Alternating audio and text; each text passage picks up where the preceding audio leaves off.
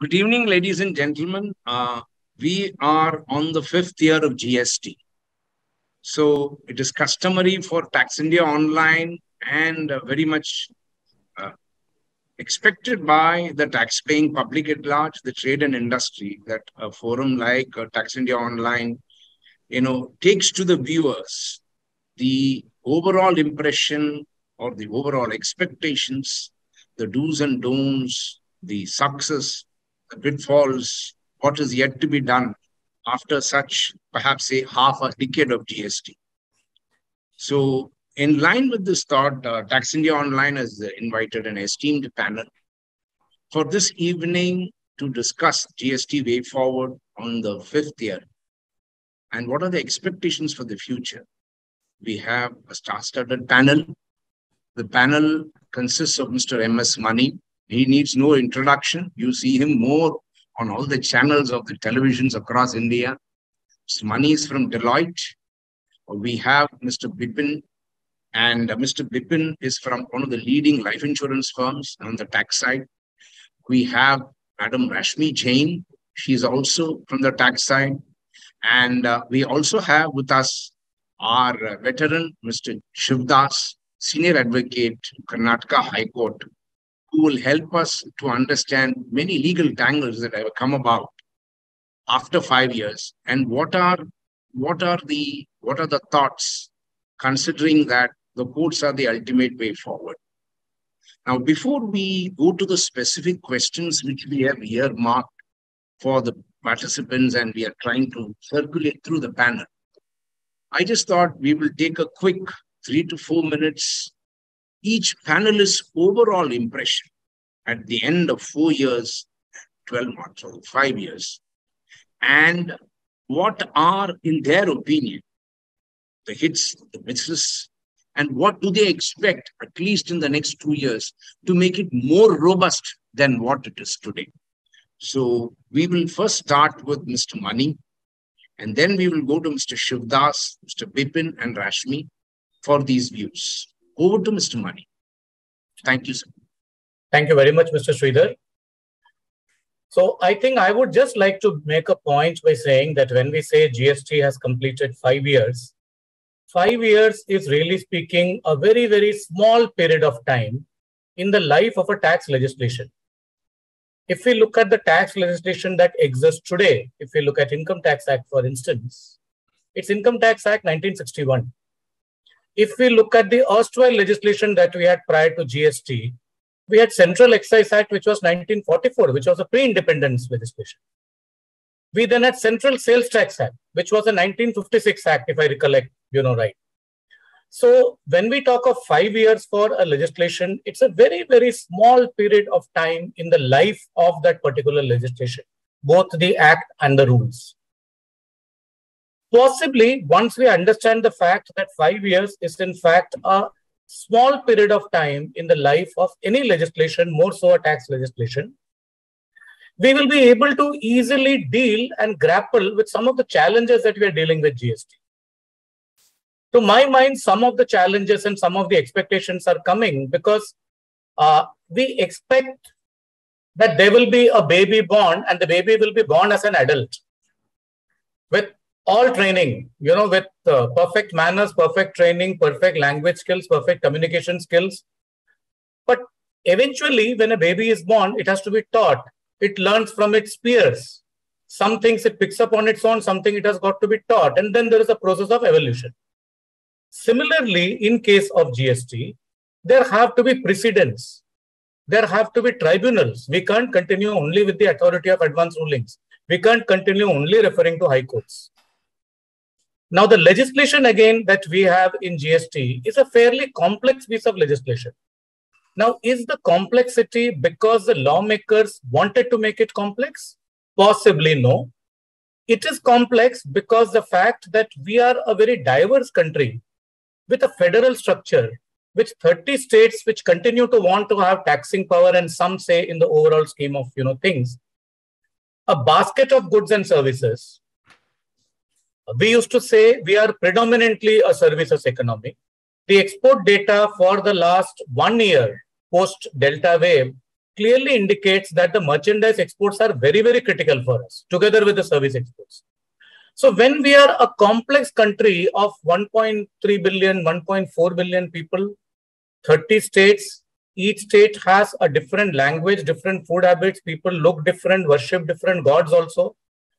We are actually looking at a situation where the tax legislation has to reflect the people living in that country and their aspirations, their requirements, the supply chains, the logistics that it needs. Consequently, what we have as CGST, IGST, and SGST truly reflects the diversity of the country. Since we are again formed on democratic principles, it is open to people who know the subject. Uh, it is also open to a lot of people who are not very familiar with tax subjects to come and say that look anything you know goes wrong in the supply chain anywhere the wheels of you know something stops ये तो GST के वजह से हुआ है GST के पहले तो अच्छा था जीएसटी में ये हो गया now I respect the views of everyone but at the same time we have to understand that 5 years is too short a period for any legislation to achieve any degree of maturity and possibly over the next five years, we are aspiring to get into that degree of maturity where policies and processes will be a little more certain. Rate changes will be very infrequent. The returns will get established. The portal will work very, very smoothly in a completely glitch-free manner. Refunds will get processed without a manual intervention. If all of those happen in the next five years, and if the GST from being a, toddler uh, becomes an adolescent, I think that is terrific. But even over the next five years, we should not expect the toddler to jump into becoming a teenager. In a very different context, we have seen what happens when a toddler becomes a teenager. A toddler gets into all bad habits early on in life. So there is a period when the toddler has to become an adolescent. The adolescent becomes a teenager and then becomes an adult. That is a natural process. So while normally we say that and that you achieve adulthood at the age of 18 or 21 or whatever, in this case, we might possibly achieve adulthood when we are 10 or 12 years old. But that amount of time we have to give to the legislation, we have to give to GSTN, we have to give to all the authorities who are administering it so that we are able to reap the true benefits of GST. That is Thank the you. way I would summarize the way GST is today. Thank you. Over you, to you, Mr. Sridhar. Thank you. Shiv, I think uh, has outlined his expectations from the consulting side very well. So, what is it if a legal luminary like you looks at it from the specs of the serving high courts of India and the Supreme? How would you look at the five years of GST, its expectations for the next five years, whether five years is too little a period to judge it, etc.? Over to you, Shiv, please. A very good evening to all of you. Now, GST, as we uh, envisaged in 2017, is not, in my view, a, a new act that tries to tax new activities. Essentially, when we talked about GST, it was an amalgamation of all the existing indirect taxes. So you talked about an excise, you talked about a VAT, you talked about a service tax. So it was a combination of all these acts, you are making it into a GST Act. Now that's how, if you have seen the model law that came in August 2016, if I am not mistaken, and the second model law that came in 2000, November 2016, all these model laws essentially were a verbatim reproduction of some of these acts, borrowing, uh, accepting, making some small changes in terms of the taxable events. From a manufacture, from a sale, from a providing of service, it went to a supply. Then goods and services definition, goods were taken from the existing definition of sales tax, services were taken from the Finance Act. So it was essentially an, an amalgamation of all these acts. The reason why I'm pointing out is the expectation from this amalgamated act was that the learnings from the existing laws would be used when you are implementing this amalgamated act. That was the fundamental premise based on which GST got implemented. That's how the, the departments implementing it were more or less the same. You never had, you don't have a, a new department that implements GST. They come with their experience of handling an excise or a sales tax or a VAT, who will handle this GST.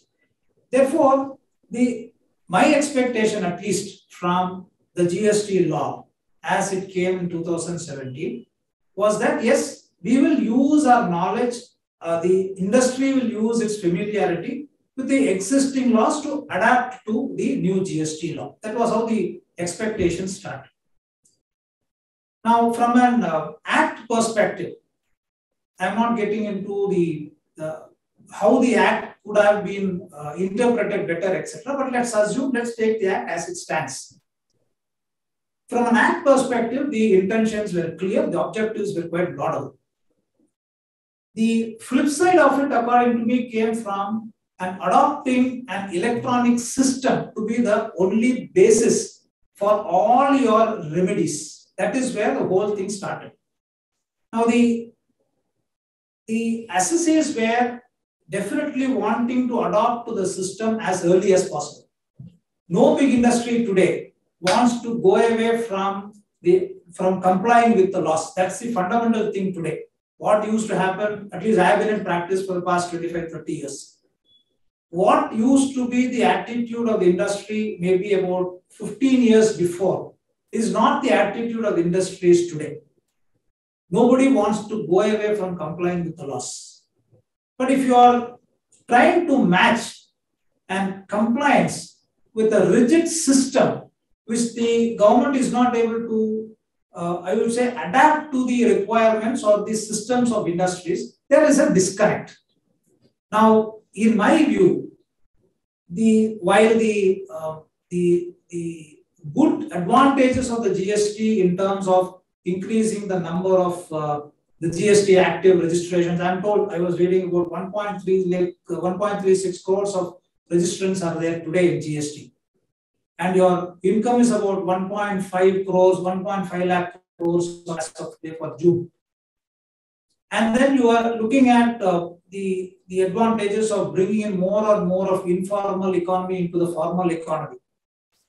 All discussions taking place with all the chief, the finance ministers coming together all discussions taking place, decisions being taken on a consensual basis. About 46 meetings also have been held in these five years. All these are all good, good issues regarding the consequence of GST. But the flip side is where you try to judge an assessee by the way he is able to adapt to a GSTN system. That is where I think the flip side is today. So the five years which Mr. Mani was talking about, that is too short a period. I completely agree. But you're not talking about too short a period for a new law. You're talking about a, a, a law that is borrowing all its concepts from the existing laws. Therefore, the administrator should be better equipped to administer it and be the, the place where they are able to guide the assessees to adapt to the system faster. Now, the disconnect has happened there. Now, the dissatisfaction of the assessees is not with the law by itself. It is with the manner in which it is getting implemented. The manner in which the system has reverted back to them. That is where I think the flip side is. Otherwise, nobody today um, uh, disagrees with the intention of GST. One tax, less of cascading effect, less, less rates of taxes. Maybe the, the rates compared to other countries could be more, but we still have only six or seven rates less of cascading effect, then more um, uh, formal economy, people getting connected through the systems, all that is absolutely laudable. But the miss, according to me, is only in trying to hold on to the system and say, either you go through the system or you don't get any relief. That is where I think assessees would feel bad. Now, as and when we go into it, we will explain, get into the details.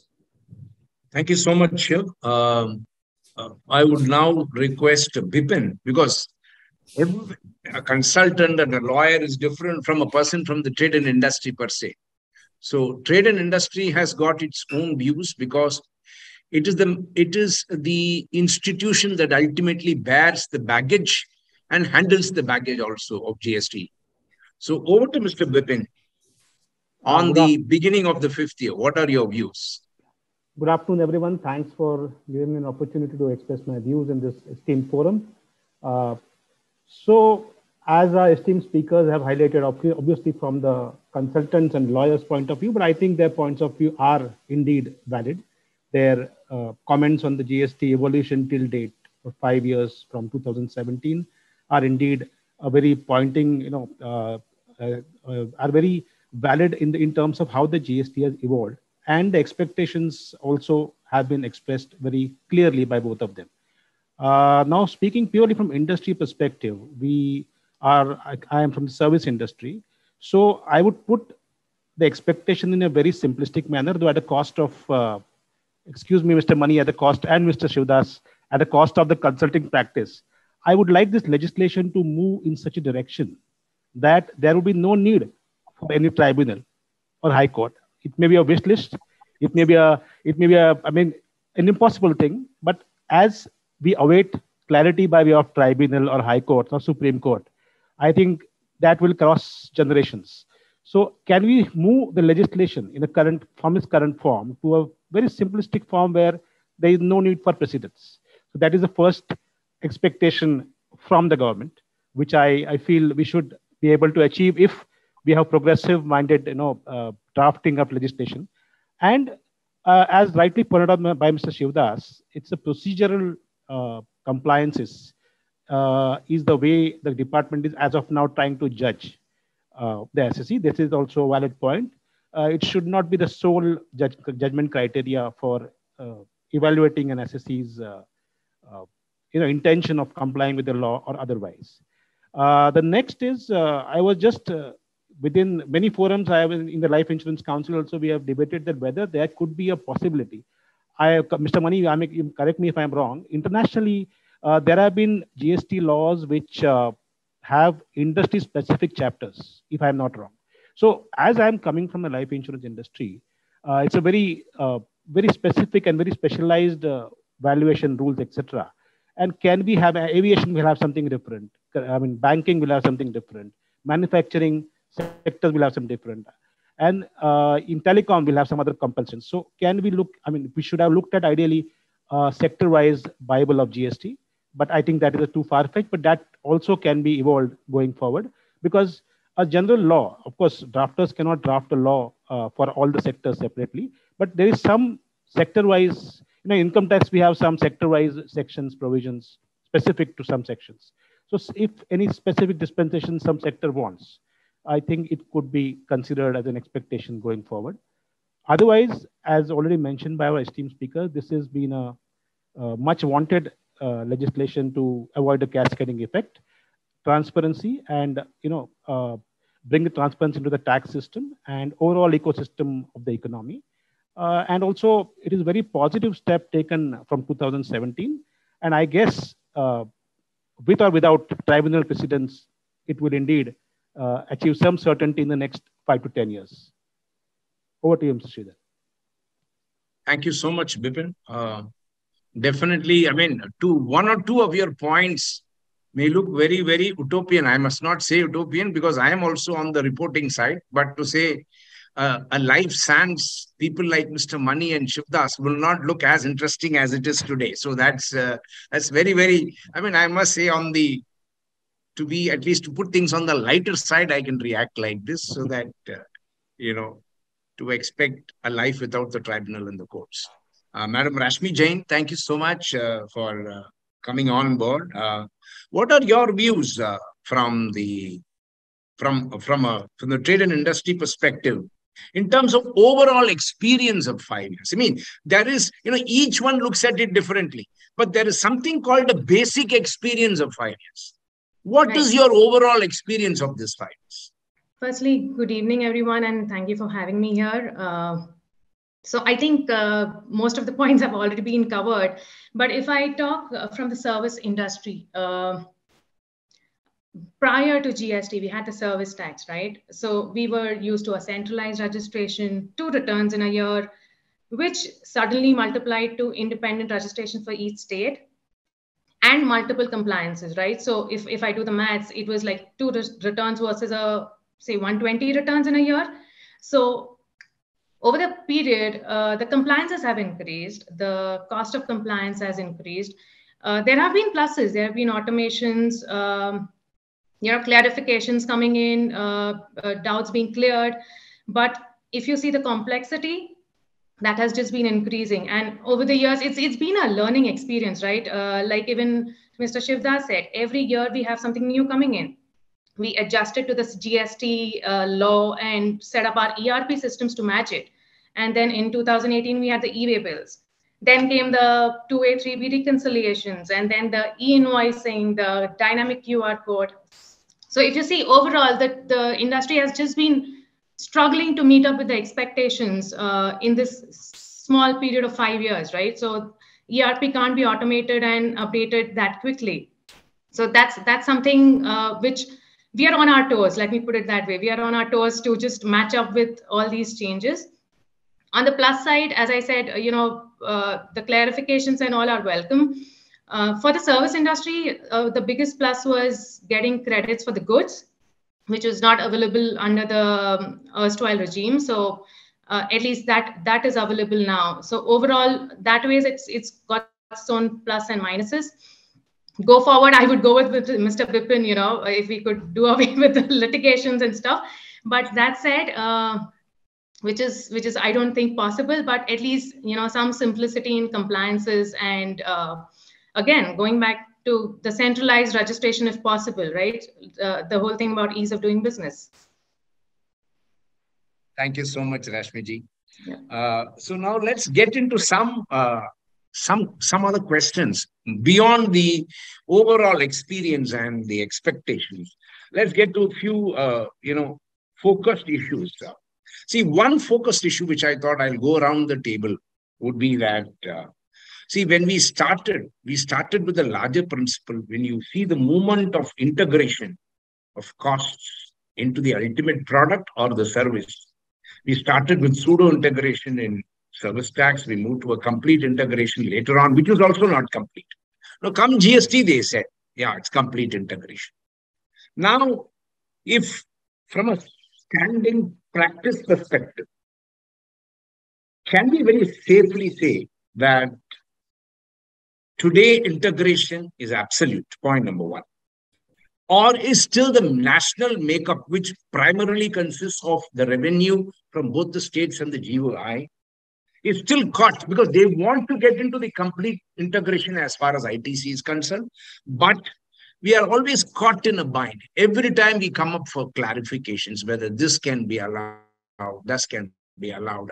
Or overall, can we reduce the number of disputes? Because 50 to 60% of the reported disputes, if you were to ask, if I were to time it up from TIOL's reported decisions, is around involving around ITC.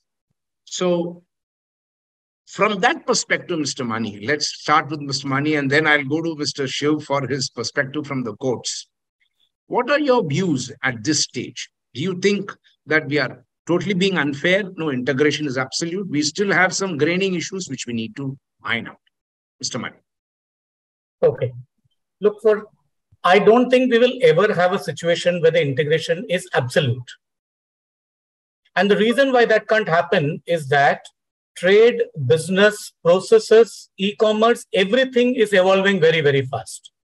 So whatever rules are made, business progresses faster than the rule making speed. And this is not true of India alone, it is true of the entire world. So at any point of time, we will have some issues to do with lack of integration, lack of fungibility, a dispute involving a taxpayer and the taxman. That is bound to happen. In some ways, I would say that's also a very healthy sign because it indicates that we have a right to disagree with the tax authorities, which is a fundamental right all over. And at some point of time, if we take away that right, if either the taxpayer says the views of the taxman are final, or the taxman is told that if certain categories of taxpayers, so, you know, let's say insurance companies, whatever insurance companies do is full and final. You can't raise a dispute even if you want to. That to me is imperfect. Now, the key to my mind over here, when we are talking of input tax credit, is to keep the differences of views to the minimum Will it get eliminated? It will never ever get eliminated. And some of us have dealt with CENVAT prior to GST. Some of some old people like me have dealt with MODVAT before CENVAT also. And one of the things that is very fundamental is the kind of disputes that we used to have in MODVAT and CENVAT never ever ended. So, so on an on an anecdotal basis, uh, in terms of the CENVAT credit that was allowed, most of us are familiar with CENVAT. There was this company which had a township in India where they housed their factory. And in that township, they had a problem with stray dogs. So they appointed an agency to catch all these dogs, sterilize those dogs, and put them in the forest. Now, the company claimed input tax credit on the dog catching service. And the company said that, look, if the dog bites my employee, my employee won't report for work. If my employee doesn't report for work, I'm not productive. I can't, I can't run my, you know, manufacturing. And therefore, the dog catching service has a nexus with my manufacturing facility. They finally lost the case in tribunal. That's another story. But the point remains, we have got people in India, tax professionals, finance professionals, and others who are extremely creative by nature. And by nature, we all of us have this habit of saying, the moment I see GST on an invoice, मेरे को क्यों credit नहीं मिलेगा is the first question. The question is not, am I entitled to the credit? Is this a part of my business? Am I using it for my business? Those questions follow later. The first question is, my chairman bought a car. Why can't I get input tax credit for my chairman's car? The chairman is the chairman of the organization. Why can't I get input tax credit for the car? So okay. on input tax credit, the disputes will continue. Okay. If those disputes are kept at some minimal level, in that case, I don't mind the disputes at all, not because it gives work to people like me, okay. but because of the fact that having some disputes with the tax authorities will make us a little different from many other countries. I'm not naming any of them. I mean, most of you can make out, you know, the countries that I'm alluding to, where they have a concept of what is known as a golden tax credit machine. And in terms of the golden tax credit machine, what happens is when you print an invoice on which somebody can take an input tax credit, the printer as well as the software that runs that printer is supplied by the tax authority. So if you need 40 printers to print invoices and five printers break down or one day the software does not work, there is nothing you can do. You cannot buy your own printers. You cannot use your own software. The software as well as the hardware for printing output invoices is provided by the tax authority. Equally, when you receive an input tax credit invoice, you have to scan the invoice and mail it to a particular mail ID of the tax authority. And the tax authority will pick invoices at random and get back to you by saying, why did you take credit on this? But you have to do that for every invoice. Now, so unlike that, we are in a situation where the law says, please go ahead and take credit if you feel it relates to your business. There is a small negative list of input tax credit there are certain things on which input tax credit is not permitted. For the rest of it, it is permitted. But the challenge for the lawmakers, the challenge for the tax administrators also is we have people who show extreme creativity in tax matters in India. Okay, I understand. I take, I get your point. Shiv, see, I think you heard what Mani was uh, views are. Now, I am just adding one pinch to this whole whole theory. Now, there are a few people who came uh, to uh, TIOL and said that you raised this issue for us. And they said that if you go by the rules of evidence, you're supposed to preserve an invoice. Now, after electronic invoicing, where the limits are depleting every day, we started with 100 crores. Where is 100 crores e-invoicing anymore? It's fallen so short down in terms of number of crores. They are saying the evidence is available in the backyard, but 16 remains unamended.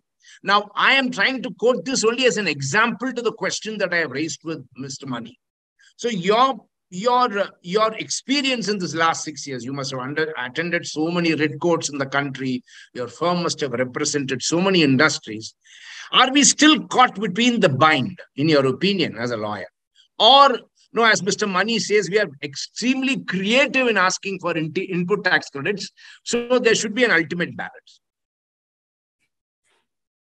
Uh, a couple of things. One is the when you're talking about uh, integration of an assessee's documents, right from the stage uh, the supplier's documents comes to him and then gets integrated into his uh, into his one and then it, becomes a part of his 2a and then it's part, a part of his 3 that there is a complete integration that seems to be happening in the system right now while the uh, section will say that you should be in possession of an invoice for you to take the credit what it would mean is that you should have a document relating to that particular uh, that is what it means now in the context of the electronic system, whether you should rely on the e-invoicing that is embedded as part of the system or whether you should have it in hand for the purpose of taking credit is a matter of, uh, uh, I, I would not even say it's a matter of dispute. The, the, authorities may not get into it saying that I have, a, I have in, in, my, in my system, I have the document, therefore you produce it to me again. I don't think they would get into that. So therefore, there it is possible that they will they can always rely on the documents available in the system to say that I will look at your entire documentation and therefore the credit should be available to you. So I don't see a problem there. Now the the problem comes where you see we should understand when most of us claim input tax credit. I mean I we should not judge the majority of the assessees with reference to few, few creative input tax credit takers. I mean, I am not of that uh, view at all. You can't judge 99 people based on what one person does. Now, we have evolved on this input tax scheme right from 1986. How in 86 it was restricted, over a period of time, how it became more wider, maybe in uh, 94, then in 2004, and now in 2017. So we are essentially looking at a credit being available to an assessee if it relates to his business. And nobody today will expend an amount if it doesn't relate to his business. I'm talking about 99%. I'm not talking about the 1%. So if, if you want to restrict credit, restrict credit in terms of what you relate to a personal consumption but give credit in respect of his business. That is how the theory of input tax credit would normally operate. And that's how your entire section 16 or 17 or read with 17.5 is worded. Now the, the problem comes when you expand the scope of 17.5 through your own interpretations to say, I will look at when is your personal consumption stops or when is your business stops and when does your personal consumption start. Now, there, if you get into an interpretation, the scope of 17.5 gets completely expanded by means of interpretation, not by the manner in which it is worded in the law. So that is where I think most of the disputes are being raised today, even in the GST. You see across the, the span of advance rulings that are getting passed. Now, I am not on what, what is the nature of these advanced rulings and uh, what is the, uh, the sanctity we are, we are able to attribute to it. That's a different point. There are any number of advanced rulings that are seeking to rely on 17.5 and deny input tax credit on uh, so many expenses which relate to the business.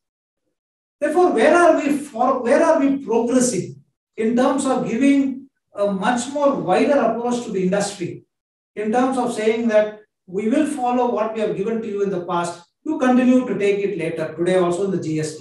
The problem comes there. I think my disconnect with the the theory today being adopted in the field is only there. Please stick to the law. The law is as clear, worded neatly, no issues on that. Stick to what is required to be excluded, stick to that. Don't try to judge the inclusion by the exclusion. That's what my. Uh, yeah. Thank you, Shiv. Only one thing, Shiv, before uh, I the purpose is not to make this meeting into a meeting considering GST Council's decisions. But in the press note, they have, they have also put in one of the sections that they will be issuing a circular on 17.5. So to answer your, I mean, I don't know whether the cat is out of the bag or it is still in the bag or where the cat is because Mr. Mani will definitely be very, very, very, very different maybe after he reads the circular also. How things are going to go beyond uh, beyond the scope of law.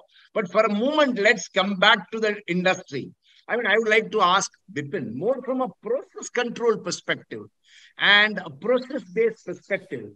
With regard to the GST schemes, I mean, scheme as a whole, have you introduced more process-based control?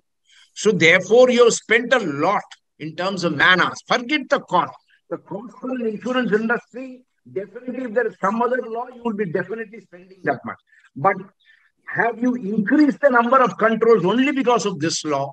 Is that a situation uh, there with you, uh, I mean, at the industry at large, Bipin, or no?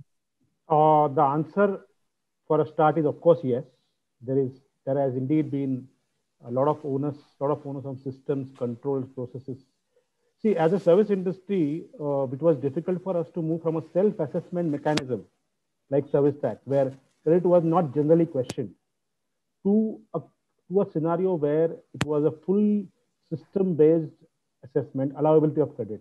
Sorry, Bipin, can you please hello? Am I audible? Please, you adjust your volume huh. because uh, your volume yeah, seems to have fallen. Yeah, yeah. On, yeah. please increase your volume. Yeah. Maybe the listeners may not be. Yeah, yeah, yeah. Is it yeah, okay now?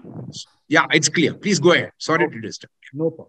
So, uh, as I was telling, for the service industry as a whole, uh, any any service industry, it was difficult for us to migrate. The, the roadmap for five years was from a self-assessment based assessment of service tax. We have moved to a totally compliance uh, system driven uh, allowability of ITC. And maximum in this journey, we have faced many roadblocks. The major roadblocks, speed breakers, you may say, is of course input credit. Because at every stage, this has been questioned for the past few years. Of course, we are not yet uh, crossed the line of litigation beyond a certain level. But yes, though on paper integration has done is perfect, and we are mostly getting all the credit as of now.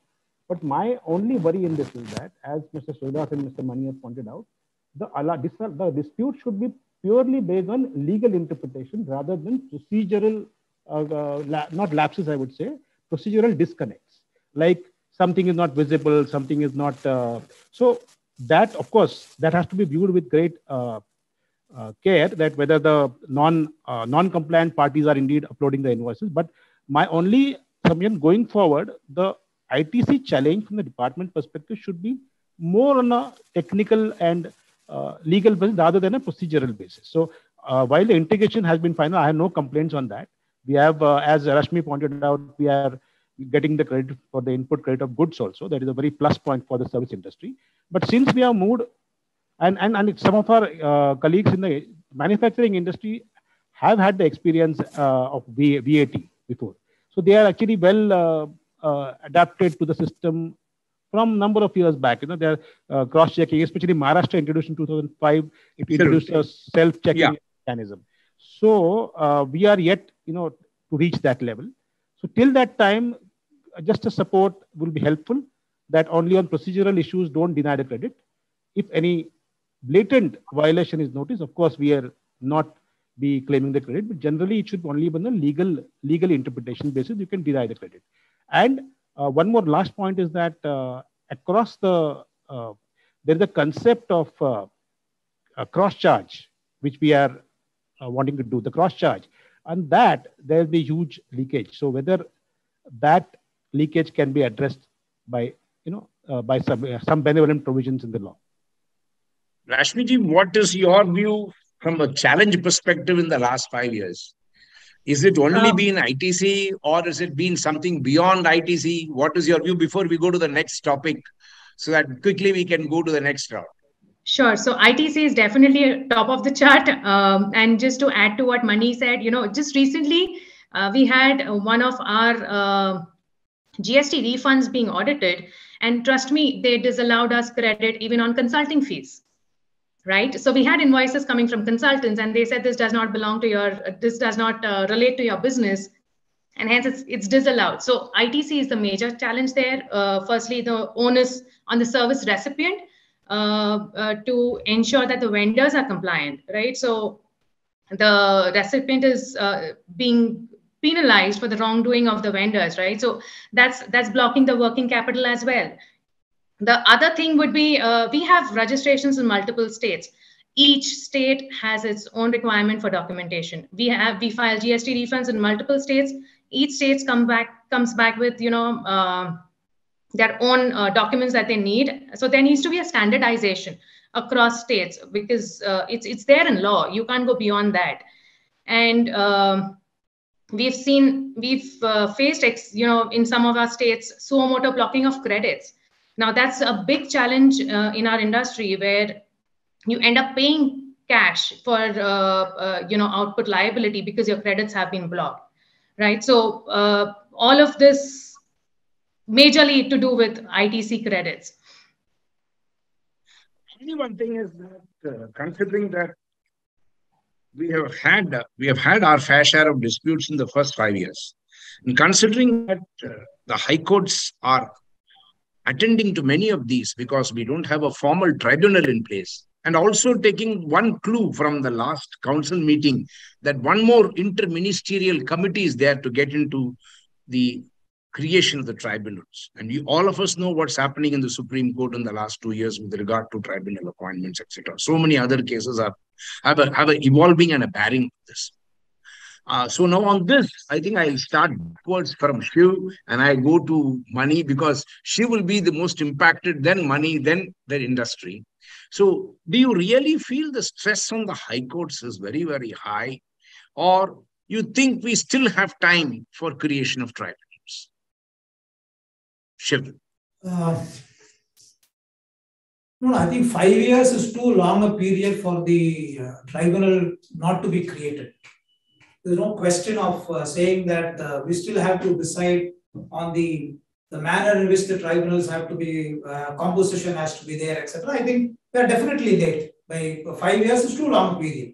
We should have had a tribunal maybe in about two or three years' time. And I, am not getting into the uh, the arguments for or against the government in terms of what sort of tribunal members have to be there. That's a yeah, different I, point. Apart from the Supreme Court uh, observations, yeah. Maybe, maybe what uh, I always keep saying this. You see, you have an existing CESTAT functioning. You have the existing VAT tribunals functioning. In fact, somehow yeah. somebody came up with a very good idea that why not you have the existing VAT tribunals with the central member being opted into it at the end of the day, that's what uh, you are looking at. Being functioning as a GST tribunal for a particular uh, a state, and then a CESTAT, having a state tribunal functioning as an maybe a, a national tribunal or an area tribunal, etc. So these are all things that could be done. Because five years is too long a period. And the number of writ petitions that are getting filed in the High Court is, I think, uh, phenomenal. And looking at the workload of the High Courts, we should always be clear tax is never the priority in a high court. We should be very clear on that because, I mean, there's nothing to say that they should not give preference to tax. But then the number of subjects somebody deals with, a tax judge deals with, is phenomenal. He starts from a company matter, he starts with an arbitration, then he gets into, somebody gets into a family matter, then a civil dispute. So in all this, where is tax? So therefore, from a court's perspective, tax is not all that important. But from a company's perspective, tax is the important one.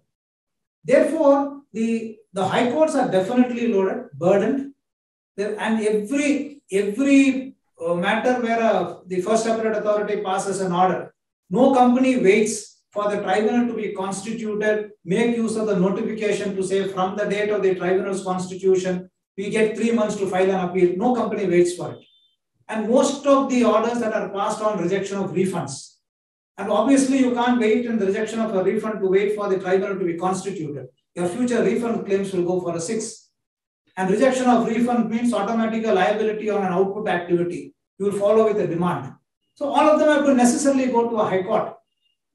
And therefore, the load on the high court is very high.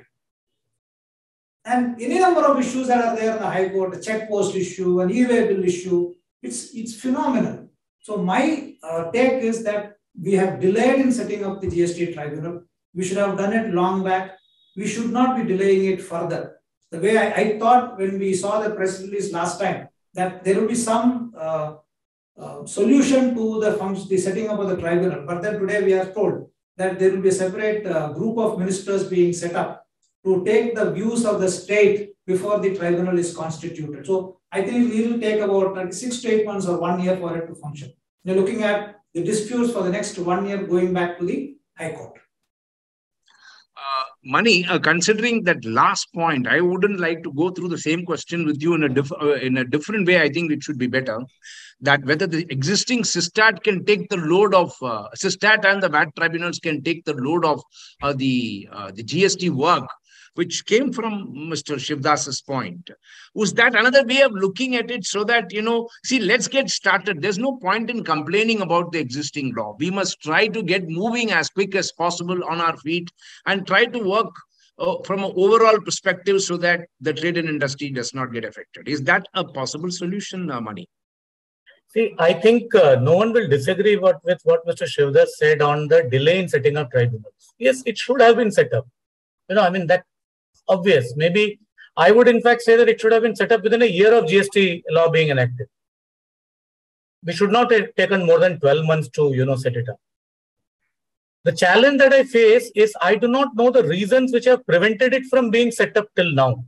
I'm not privy to the reasons as to why the tribunals in GST have not yet been set up, but I'm sure there are many reasons which possibly somebody in the government will be, you know, aware of. To your question in terms of can the existing CESTAT take over the functions, I'm not sure. Mr. Shivdas would be the better person to answer on whether that is legally permissible. My sense is there would be a legal bar over there.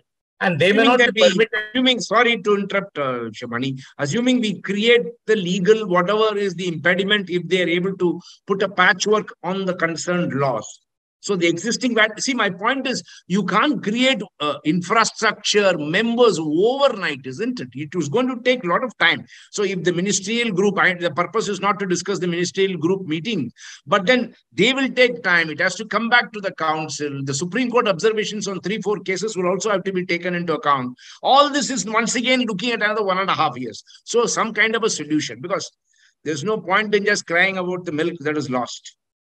Yeah, I really don't have a solution for this one because I think, you know, I mean, many legal minds like Mr. Shivdas would have applied themselves to what is a Yeah. solution to this particular, you know, situation. Yeah. Uh, we have to bear in mind that the existing tribunal is also extremely hard pressed for time and the pendency in the existing tribunal is also very, very high. Okay. So it is not that in the existing tribunal, people file a case now and it gets heard in six months. There is a pendency that they are dealing with. So do we want to increase that pendency by having the GST cases also? It's not something which, you know, I like I said before, the reasons why the tribunal has been not been set up till now could have various reasons and various factors, which I am not privy to. Yes. Yes, Mr. Shivdas, please go ahead. No, the, see, the pendency in the uh, existing CESTAT is not because of the fact that uh, they have, uh, uh, say, too many matters to handle. It's because of the non-functioning of the tribunal itself. In most of the places, you don't have benches. So, and the, the, the time they sit is hardly maybe about 15 days in a month and then maybe once in two months. So it's unfair that when you sit for 15 days, how many matters you can hear and you can dispose of. At the end of the day, the functioning of the CESTAT is something which is absolutely to be proud of. So therefore, the, the not the burden is not because that the the CESTAT is not able to do it. It is because the members are not there in CESTAT. Enough benches are not functioning. Existing benches with the adequate members, full staff, what we used to have maybe in uh, the late 90s, etc. If that is what is there, in my view, the existing uh, pendency can definitely come down. All we are talking about is a, a an arrangement by which the assessees can feel that even their GST matters are being heard. Today, that is where the, uh, helplessness on the part of the assessees. Uh, one one more question from a trade and industry perspective, I must say so. This is they say no, the proof of the pudding is in the eating. So let's come to 17, 18, and 18, 19 Bipin, both for Bipin and Rashmi. Now the exams are over, we only wait for answer marks, isn't it?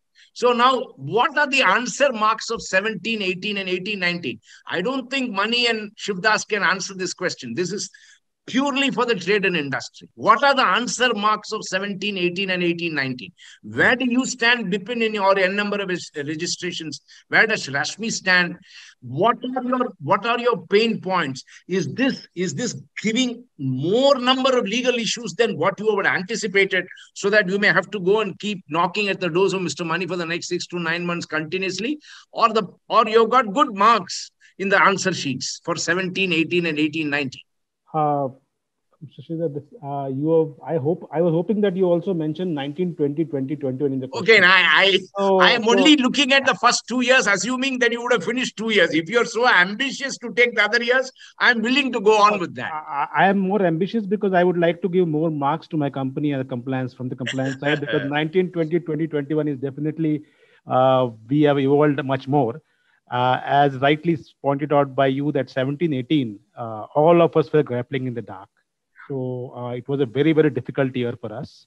And uh, the problem is it has compounded now because now the audits have started of the uh, department. And for all the current years, we are, I think, better prepared, better equipped system wise, prepared wise. But 17, 18, since the even the other assessees were not too much comfortable and too much you know compliant at that time not necessarily not compliant but systems were not in place so 17 18 18 19 i think we were uh, a bit of a were evolving especially 17, 18. But otherwise, subsequent years, we have, I think, settled down comfortably. We have going, we are, I mean, our going has been good for other years. But as far as the marks are concerned, uh, it is not worth a mention for 17, 18, 18, 19. It is, I could say, not a very high score from our side. Rashmi, to you, over to you. So, uh, uh, well, I, I, could proudly say we were quite compliant. We were all set for GST, um, and we were. Sorry, I think we've been sorry, sorry, sorry to interrupt. I I may not be mistaken that we are not compliant. We are compliant, but we are not uh, up up there. I mean, please, please, please, please go ahead, Rashmi. Okay. so yeah, um, I think we we managed quite well, uh, and as Bipin said, you know, uh, it, it's constantly evolving. So even our checks and balances are evolving. But if I talk about uh, from an audit perspective or uh, the experience that we've had uh, in filing GST refunds for that matter, the experience has been different in different states, right? Some states have been pretty, uh, you know, easy to manage, not manage, but easy to deal with and uh, you know with all the documentations in place there was no uh, major concerns created. While other, Sorry, Rashmi, other but i'm more focused on assessments. So if you were to ask you the focused question of assessments the answer marks is for the assessments. Have your assessments completed and how are your answer marks no. looking? No so there are no assessments completed. No no scrutiny assessments. No uh Sri, just to uh, in a lighter way i think they will know their marks somewhere in 2023 when they're three years or five years from the date of the annual return will yeah, stop. that has also yeah. got extended. Yeah. That, that is when they really know where their marks are. Sir, we were yeah. hoping, sir, we were hoping that the COVID uh, wave will have some benefits for us by way of letting go a couple of years uh, from the assessment cycle, but I think that didn't work out. So they have got. We will not get into that. Those are all issues. one more, uh, coming back to the technical side, one more issue. See, is the word out on cross charge versus ISD? Now, this is something that is really once again picked up a lot of tempo and heat after this Jindal case recently. And uh, more, oh, more so, common services procured as a concept if it is mixed up with inter-officer services. So is the word out? Definitely, we will ask Mr. Shivdas after you have answered this. But what's your view, Mani? Okay, so to my mind, fundamentally, cross charge versus ISD is an precise illustration of what I was speaking earlier and alluding to tax creativity. We have far too many people who are creative in tax. Now, my take with many of them has been that look, they would be better off in creative functions, become a painter, become a musician, become a movie producer, director, actor. Your creative skills can be put to use there tax is very straight and basic. It says you got to do this or it says you should not be doing this. So ISD and cross charge have been used over the last three, four years as if these are interchangeable actions and a taxpayer an option of doing A or B. Now that is not the way the law was framed. That is not the way the law was even during the service tax period because input service distributor existed even earlier. There are certain situations where you have to take an ISD registration. It is not optional. If you want to move that credit, the law asks you to take an ISD. Take an ISD, move the credit. It is not open to a taxpayer to say, look, I won't, I don't want to take ISD because my compliance will increase and therefore I will cross charge. So these are two specific pieces which are used in specific situations. And I'm very happy with the fact that the people whom we have been advising over the last five years, we have been saying this despite the fact that there were many others who were saying that these are to be used interchangeably. You can either do ISD or you can do cross charge. We had put our foot down even four years back, much, much before you know pandemic started by saying no, ISD is to be used in these situations. Your situation requires you to take an ISD, please do ISD. Or in your situation, you are not permitted to take an ISD. You can only do a cross charge. So when we use the term ISD and cross charge, I am very happy that now we are starting to have some decisions which seem to be recognizing the fact that it is situation specific. These are not interchangeable terms. Can I use this or can I use this? Uh, Shiv, uh, overall, what do you feel, Shiv? No, I, I agree with Mr. Mani that uh, yes, ISD has to operate in certain situations and uh, cross charging has to operate in certain situations. Cross charging is for an activity you do for others and you pay your output liability. Your ISD is essentially for the input services you receive and you want to distribute. While uh, from a a plain reading of the provisions and implementation of it as it is, is what can lead to this conclusion. See, at the end of the day, I always see it like this. The cross-charging relates to an output liability of an assessee, of a registrant unit. The ISD relates to a credit that is available to him, which he can distribute to somebody else. Now, if you, you can correct yourself going for the future, you can say that this is what I, I should do and therefore correct yourself. But for the past, in case you have done it, that you have taken a credit instead of using an ISD, you have cross-charged it and then the other unit takes credit. We always, the courts always will see it from an, I would say a global perspective, an optical perspective, that at the end of the day, what has happened in this matter? Has the credit been taken, utilized, cross-charged? Or has the credit been distributed? That, that is where it will look at. So from an implementation perspective for the past, I think slightly a different view can be taken. For the future, yes, read it down literally to say, for this I will do an ISD, for this I will do a cross charge. That is possible to take. So now let's get back to see. There's so many things that happened in 17 when they set up sector, sectoral committees. So people were expecting that there is a GST 2 and a GST 3 in terms of evolvements of many amendments which many industries wanted didn't happen. Now, do you think after five years, no, let the law run like this at large? Let's not keep on tinkering it right now keep on pulling it from different directions. Let it stabilize. If at all we want a GST 3, we will look at it after three, four years, or is the time ripe for this? Uh, Mr. Mani. So, like I said, to my mind, GST is more of you know a journey. I'm being very brief because I think we have run out of time. Yeah, it so doesn't GST matter. We can more, extend. That's not a problem. We, yeah, we'll GST is more of a journey. It is certainly not a destination, and not for India, for any country. GST has never been a destination. And in many countries which introduced GST 20 years back, they keep making amendments even now. And as I said before, since it's a transaction specific tax, it is not an entity specific tax, unlike income tax. Since there is a transaction specific tax, as transactions keep evolving, as business practices keep changing, as newer business models keep coming, the law will have to keep changing to keep pace with that.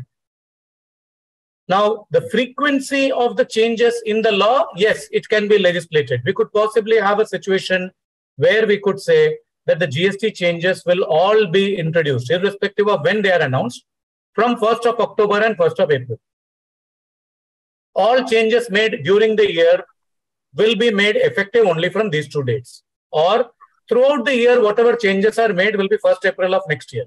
We can have some mechanics like that.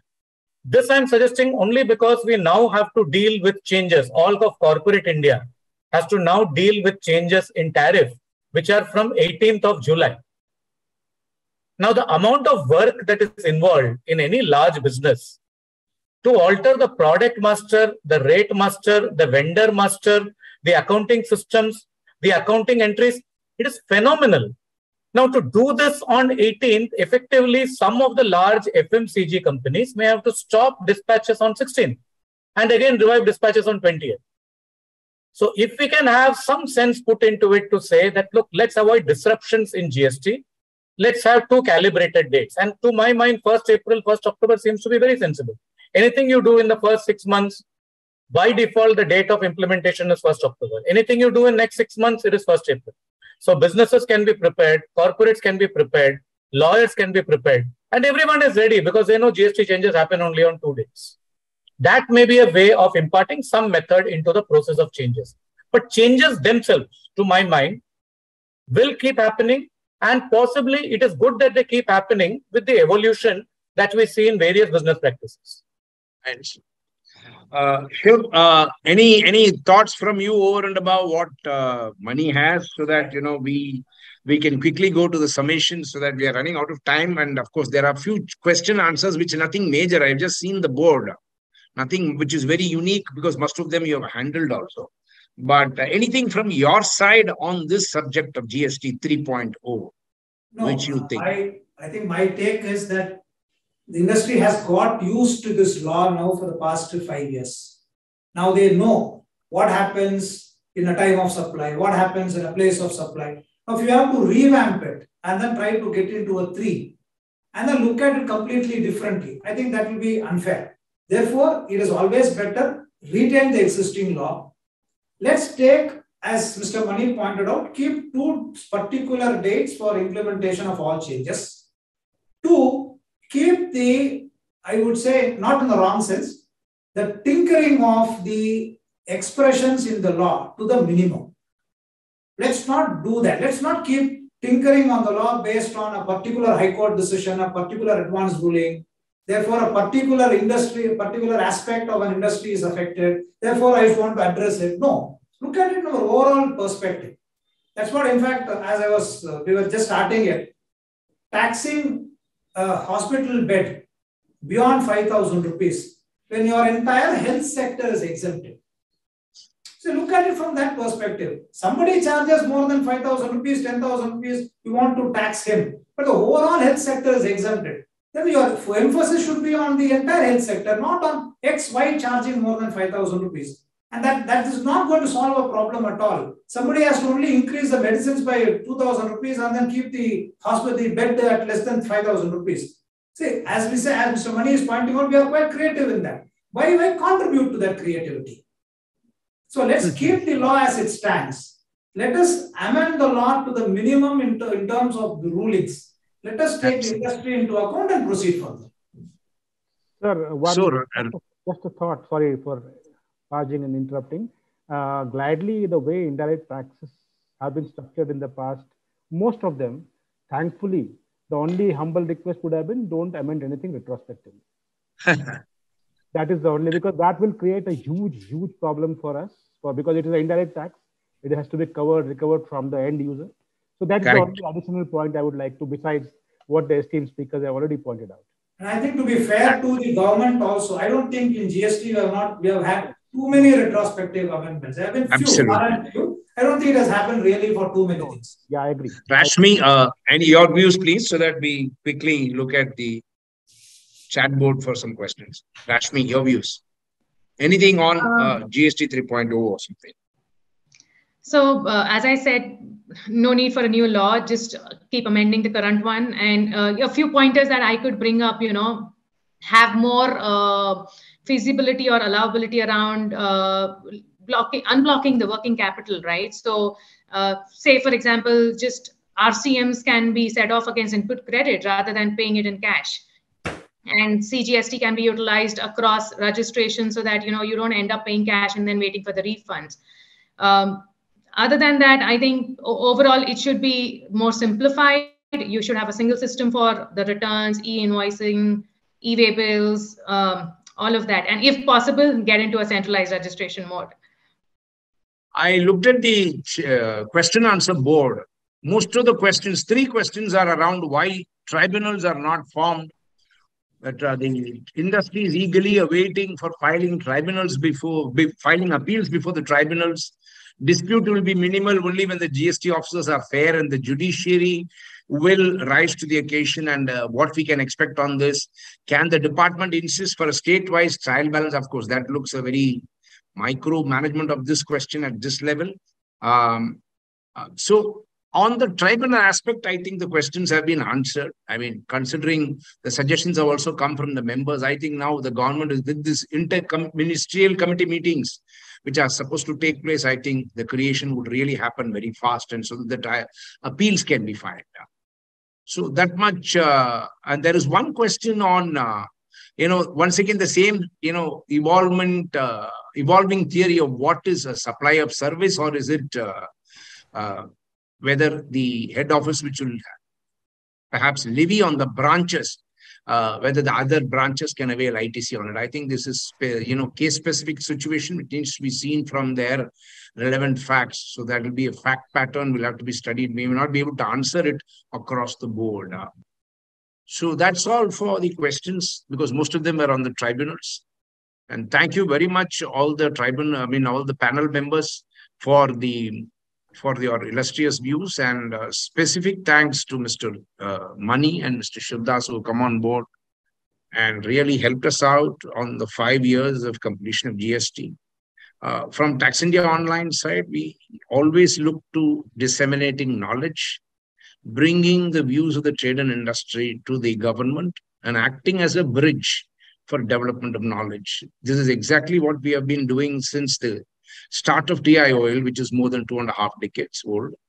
But we are doing this very rigorously in the last five years because we know that we have a lot of role to play in the stabilized GST as such and a stable GST as such. Thank you so much with these words and uh, looking forward to seeing you very soon on another interesting issue and another interesting discussion. Thank you so much. Good evening. Thank you. Thank you so much. Thank, Thank you very much. Thank, Thank you, everyone. Thank you, everyone.